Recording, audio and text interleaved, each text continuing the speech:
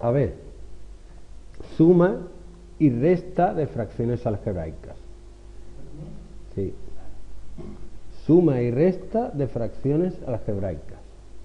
Vamos a empezar con una simple y vamos a relacionarlo con las sumas de fracciones. ¿Vale? A ver, chaval. Mm, si tengo tres fracciones, ¿tú qué es lo primero que haces? Vale. ¿Cuál sería el factor común de x, x más 3 y 10? ¿Factor común? No. Es mínimo con múltiplo.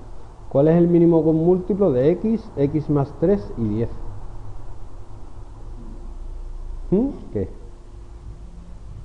10 por x más 3. ¿Y la x qué? Entonces, 2x por x elevado a 2. No. Bueno, esto es un factor, esto es otro y esto es otro. La x que está aquí no tiene nada que ver nada con la x que está aquí. Entonces, 10x. Sí, dámelo, nena, dámelo. Vamos. 10x no. Es. Aquí sería todos porque no hay ninguno común.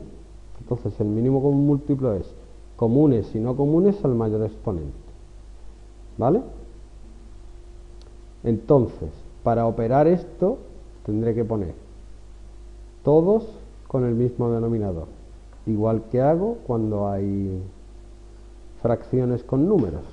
Pongo el mínimo común múltiplo abajo y ahora ¿qué pongo arriba? Bien. Bien. Aquí me falta, aquí tengo la x, me falta 10 y x más 3. Sería 1 por 10 por x más 3. Aquí me falta 10x. Y aquí me falta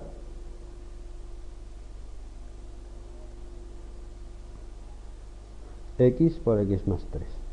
Y ahora puedo unirlo todo en la misma fracción y operar. Que aquí operar no es lo que tú piensas. Esto sería 10 por x más 3 más 10x menos, ojo cuidado, 3x por x más 3. El menos se multiplica por todo, quedaría 10 por x, 10x más 10 por 3, 30 más 10x menos 3x por x, 3x cuadrado menos 3x por 3 menos 9x.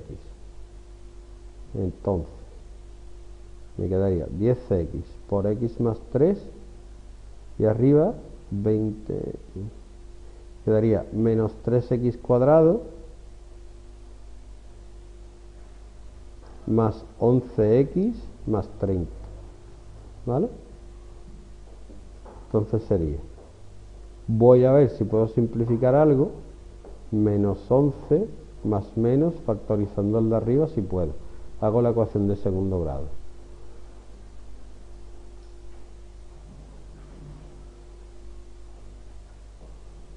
Sería menos 11 más menos No, da negativo, así que se queda así. ¿Vale? Venga, otra. ¿Qué?